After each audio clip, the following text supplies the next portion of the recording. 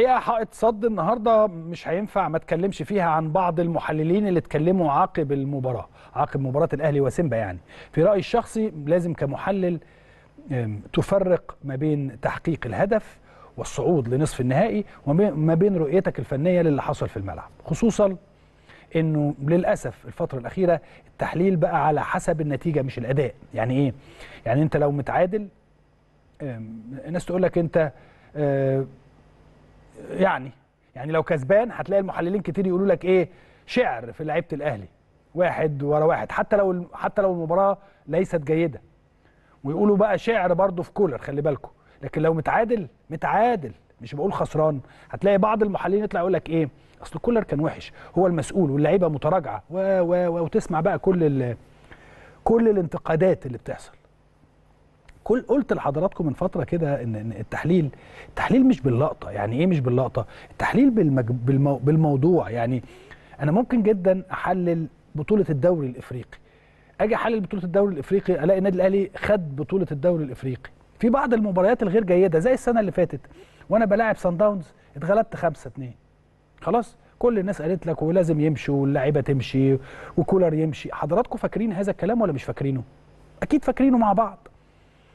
قلنا إن كولر لازم مش إحنا بعض من لا يشجع قال لك لازم كولر يمشي والناس تمشي وكل الناس تمشي. ولكن بعد التفكير الهادئ الناس كملت وخدت البطولة في نهاية الأمر. هل ده معناه إن الفرقة كانت كويسة في اليوم ده؟ لا طبعا كنا وحشين جدا واحدة من أسوأ المباريات. ولكن في النهاية ال... لما تيجي تحلل اليوم كله أو تحلل البطولة كلها هتجد إن أنت بتتكلم عن النادي الأهلي إن هو فاز في البطولة.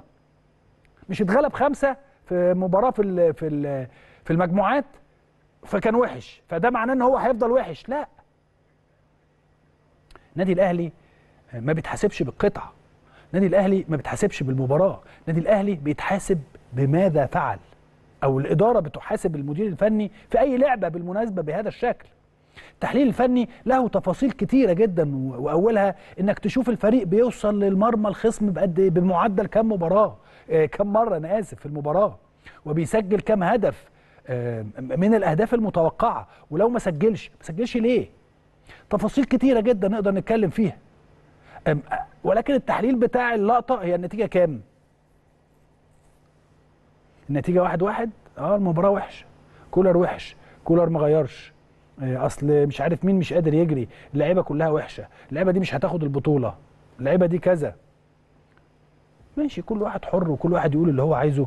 ولكن افتكروا ان هناك أيام أو امور كانت بتحصل قبل كده أو بعض المباريات السابقة اتغلبنا ولكن في نهاية الامر أو نهاية المشوار خدنا البطولة. هقول لما نكسب نقول كل حاجة حلوة والامور حلوة والدنيا لطيفة وكل حاجة حلوة صح؟ لكن اول ما نخسر كل حاجة وحشة أو لا قدر الله يعني نخسر أو نتعادل يقول لك كل حاجة وحشة والإدارة وحشة والجمهور وحش واللعيبة وحشة والمدير الفني لازم يمشي مش هو ده اللي بيحصل؟ هو ده اللي بنسمعه؟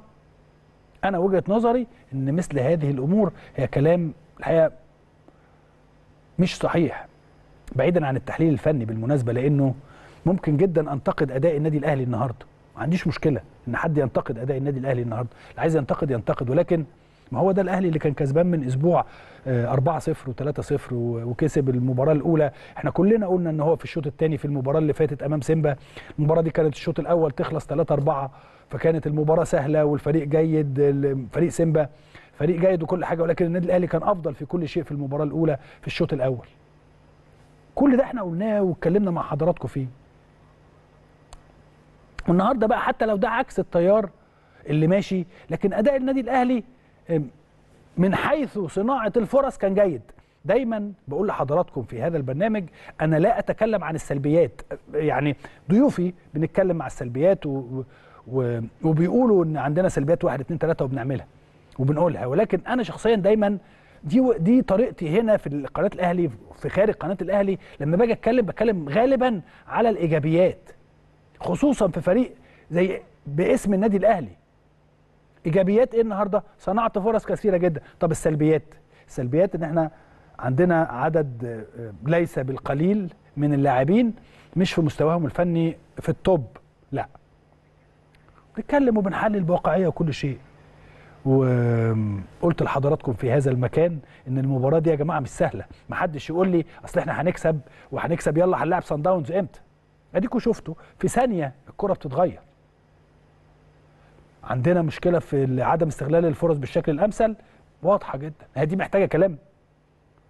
لكن كولر لا كولر مدير فني جيد. مش جيد. مدير فني ممتاز. مش مش وحش عشان النهارده تعادل فيبقى وحش. ما ينفعش. وبعدين ما هو حقق الهدف وهو الصعود للدور النصف النهائي. ولا خسر ولا بره ولا جوه. امال لو كان خسران كنا عملنا إيه؟ المباريات اللي زي دي بتخليه هو نفسه يفكر ويفكر خلال المرحلة القادمة. كيف سيلاقي سان داونز؟ فريق سان داونز أفضل من سيمبا 10 مرات. ولكن فريق النادي الأهلي اللي إحنا عارفينه أفضل من فريق النادي الأهلي اللي شفناه النهارده 10 مرات برضه. وبالتالي تقدر تكسب؟ أقدر أكسب. آه ما ينفعش للنادي الأهلي يتقال مثل هذا الكلام. وده, وده أنا هتكلم فيه النقطة اللي جاية على طول. اما أخلص هذا الأمر يعني. التحليل دائما بيحتاج تركيز في تفاصيل كتيرة جدا. مفيش مدرب بيجيب خمس بطولات في موسم ويبقى مدرب بقى وحش عشان ماتش كان مستوى اللعيبة قل أو غير أو ما غيرش. فنطلع نقول عليه أصل هو مدرب وحش ما عندوش فكرة وده لازم مش عارف إيه. الكلام اللي حضراتكم بيتقال ده والله بجد أنا بقعد أتفرج وأسمع وأقعد أضحك. ما هو لو في أخطاء ما هي تتصلح لكن لما تكون محقق, محقق هدفك إن أنت تصعد آه طب ليه؟ ده اللي تبقى بقى حاجة اسمها ما أعرفش أنا الحقيقة ما أعرفش أسميها إيه. تلاقي إن الناس بتتكلم وإن أنت عامل كل حاجة جيدة خلال الفترة اللي فاتت. مش بتكلم على مباراة النهارده تحديدا خلال الفترة اللي فاتت عامل شكل جيد جدا فدلوقتي أنت أصبحت وحش. حاجة غريبة جدا جدا جدا.